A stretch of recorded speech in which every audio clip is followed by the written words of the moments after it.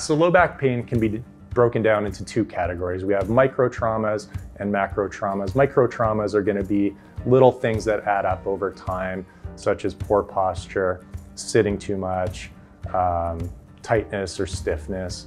Macro traumas are going to be things that are maybe outside of our control, like car crashes, uh, different types of injuries, slips and falls on the ice, that type of thing.